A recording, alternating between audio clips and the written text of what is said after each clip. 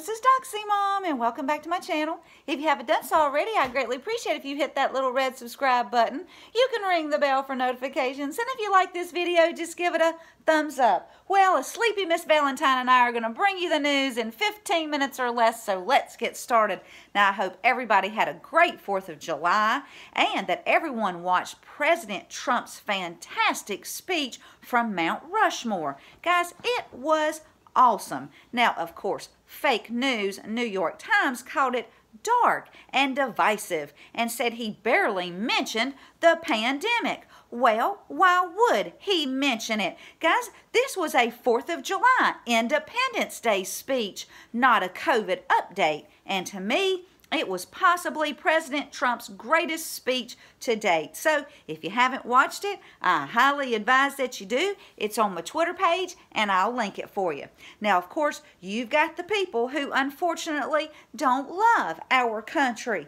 BLM and other far left hate groups held protest on the 4th of July. Mm-mm-mm, I just don't understand it, y'all.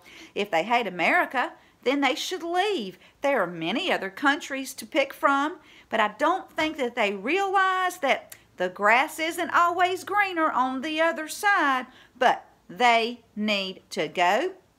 And the first one that needs to leave should be Colin Kaepernick and his ungrateful, unoppressive self.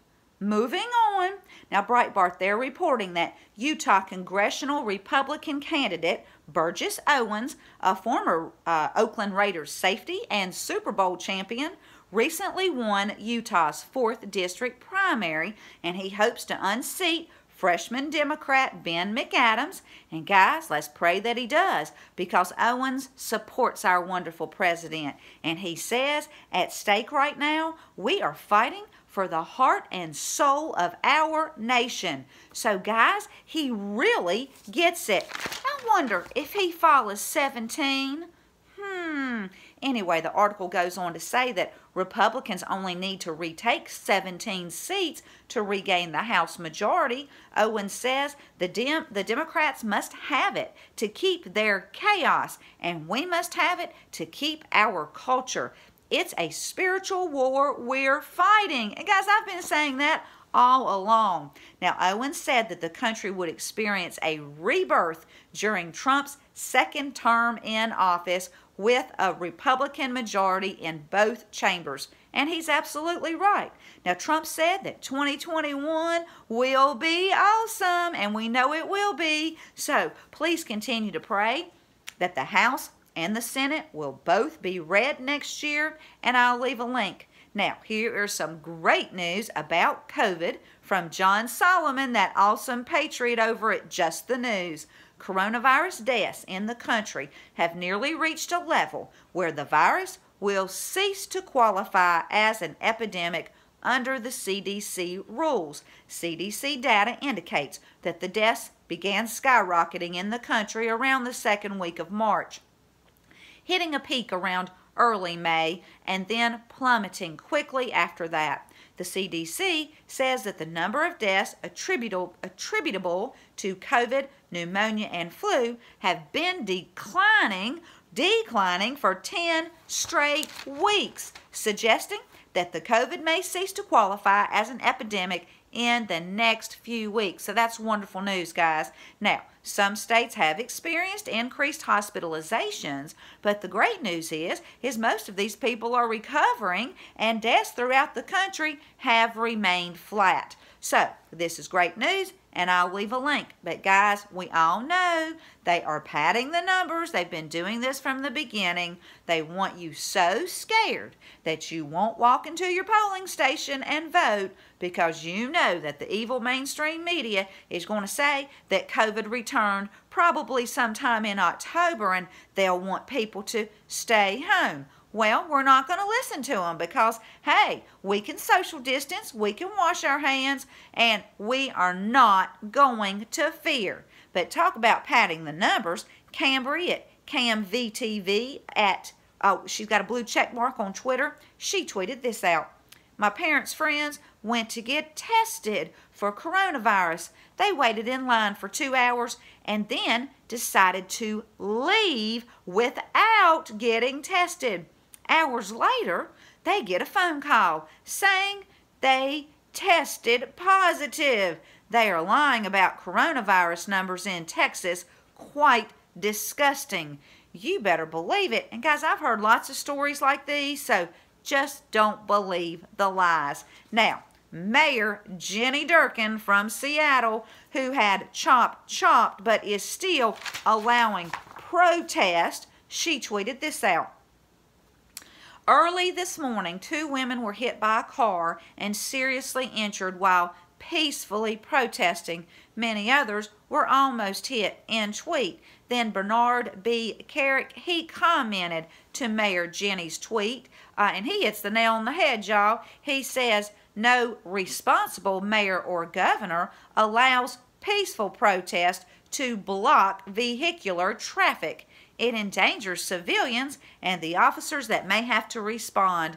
Your liberal policies are responsible for this and the other deaths that you have allowed to happen under your watch and tweet.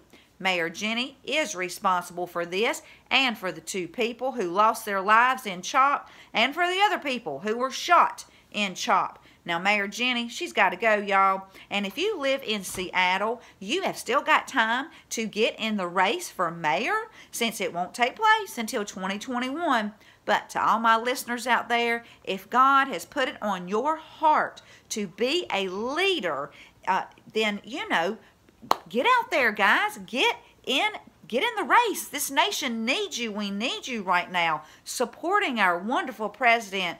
And I think all of America now understands just how important it is that we have conservative mayors and governors because COVID has shown just how evil some of these governors are, like the ones from New York, New Jersey, Pennsylvania, Michigan, and California that put COVID patients into the nursing homes, and the mayors in New York City and Minneapolis and other cities that want to defund the police, which is so idiotic and asinine. But at its core, it's just pure evil. And what these governors did in these states where the COVID people went in with the nursing home people, guys, that's just murder.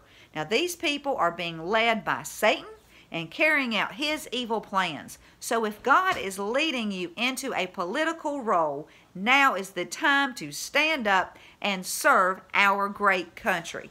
But don't run for president like Kanye West claims to be, because he doesn't have a clue as to what he's getting into.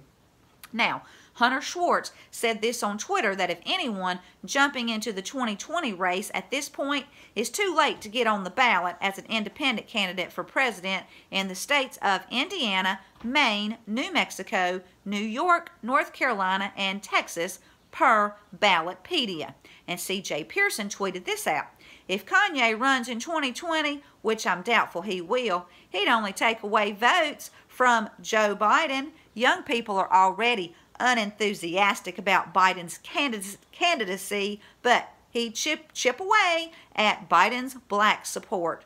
Trump voters are Trump voters. His base remains unchanged. In tweet, I'll keep you posted. And remember, President Trump will win in 2020, so please do not fear. And here's your daily reminder to pray for President Trump his family, 17 in the team, our military and their families, and all those fighting for our country and our world. Now, the Guardian's reporting 20 armed agents and police raided Ghislaine Maxwell's New Hampshire residence Thursday morning.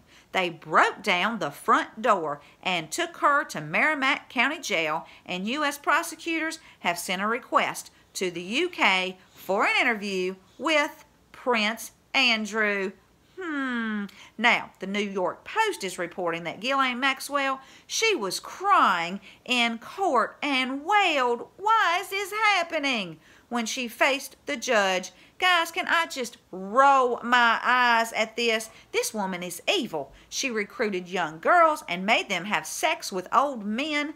Now, Virginia Roberts, you all remember her. She couldn't hide her joy about Maxwell being behind bars. Virginia said that Maxwell is the most narcissistic, evil, vain woman she's ever known, and she's finally been knocked off her pedestal. She has ruined so many lives, and she belongs in jail. Virginia goes on to say that Prince Andrew should be panicking at the moment because Ghislaine doesn't care about anyone else but Ghislaine. So, we need to pray that this evil woman will repent and find Jesus in prison. And we need to pray for her safety and protection because she's about to be transferred to the same prison where Epstein was held. And guys, I'll keep you posted and I'll leave both links. And I'm going to leave you with Isaiah chapter 40, verses 1 through 5 that say, Comfort, comfort my people, says your God. Speak tenderly to Jerusalem and proclaim to her that her hard service has been completed, that her sin has been paid for, that she has received from the Lord's hand double for all her sins. A voice of one calling, In the wilderness, prepare the way for the Lord, make straight in the desert a highway for our God. Every valley shall be raised up, every mountain and hill made low. The rough ground shall become level, the rugged places a plain, and the glory of the Lord will be revealed, and all people together will see it, and all people will see it together, for the mouth of the Lord has spoken. Well, if you like this video, please give it a thumbs up. Thank you so much for tuning in, and until next time, this is Doxie Mom, and God bless you all.